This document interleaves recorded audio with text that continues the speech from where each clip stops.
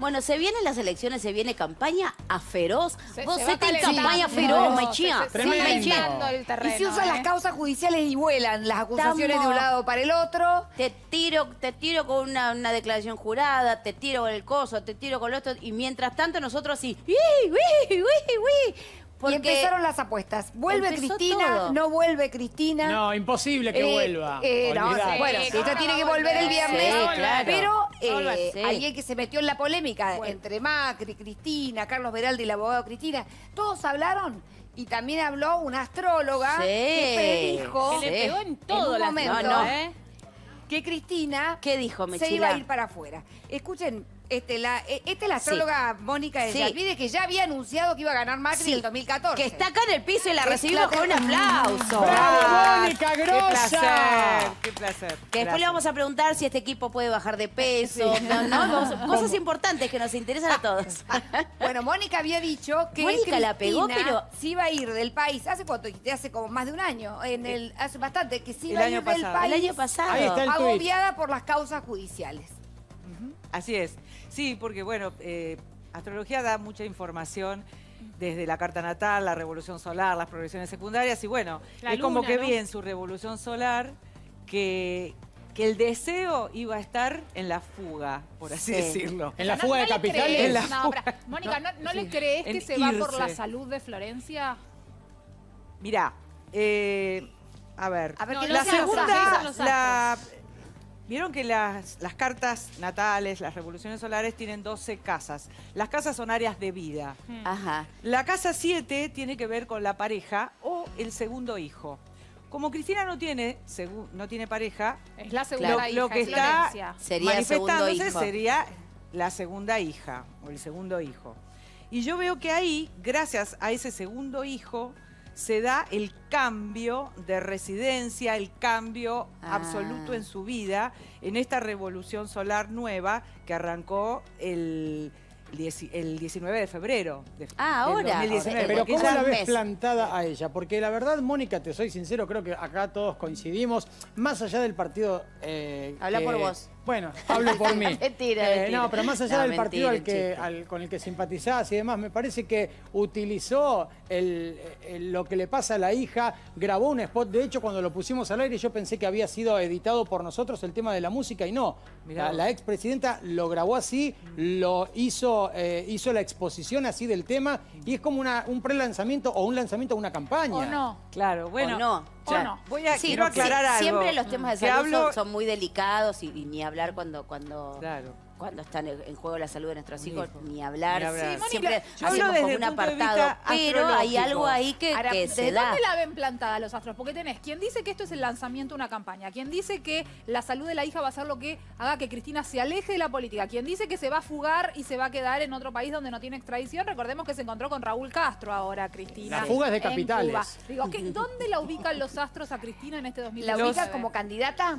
Los astros la ubican en que se va a ir, el deseo está Ah, afuera. sí.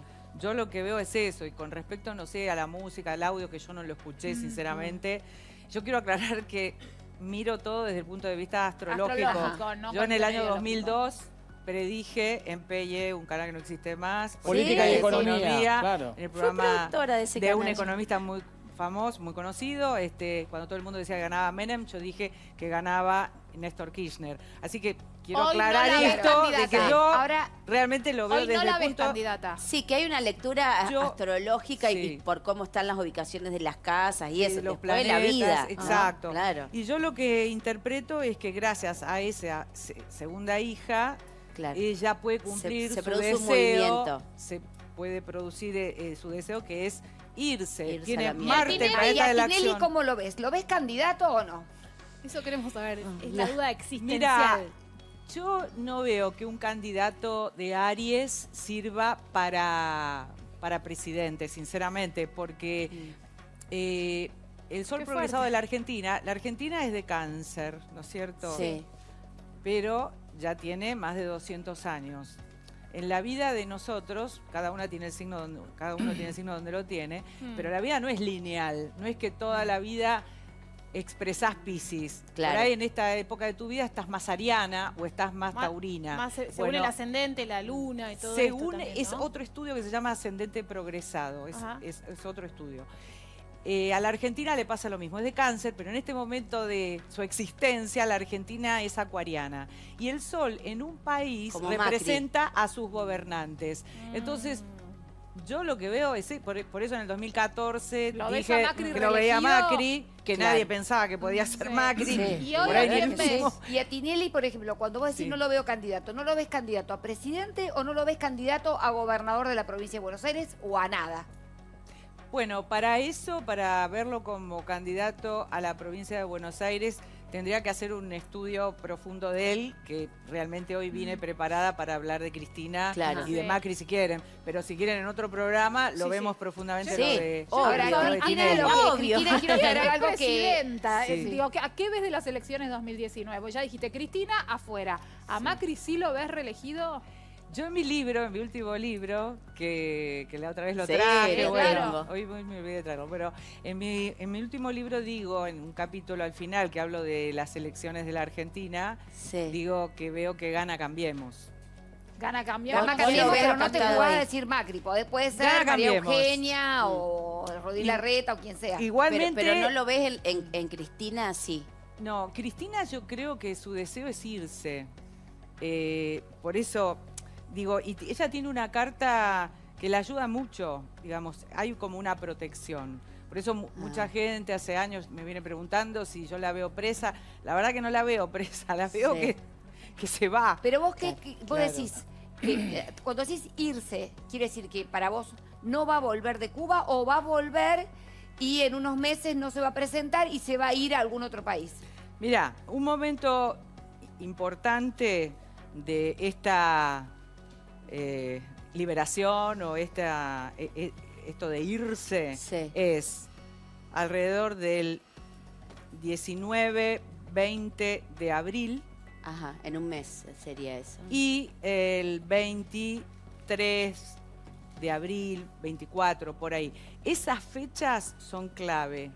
¿Y la vuelta? Ah, dejemos vuelve? grabado el programa este, Sí, a ver qué pasa. fechas ese- son No, clave. ella, puede- quiero perdón, aclarar que el- ella va a volver, Carlos Veraldi ya lo dijo, yo Para la el conozco. juicio, El ¿no? irse puede Ella va a volver de la este viernes. política. Ella va a volver Porque este para mayo tiene que No, declarar. no, ella va a ¿cómo volver es? este viernes Siempre porque se ha puesto a Cristina- derecho, no, no, no hay- Cristina no falta- siempre que la citaron a Comodoro Pi, más allá de que yo no tenga afinidad con ella, siempre que la citaron claro. fue. A Bueno, ella se comprometió a venir el viernes y ella va a venir Sí, el viernes. Es lo que corresponde. Es lo que también, corresponde. ¿no? El irse puede implicar un Sí. irse de la política, más allá de irse del país, ¿o no? Sí. Mm. Eh, ella, para el, el tema de, de la justicia, sí, ella se lo tiene que tomar muy en serio, Mm. porque tiene una configuración de Plutón, Venus, Saturno en casa 9. La casa 9 tiene que ver con la justicia.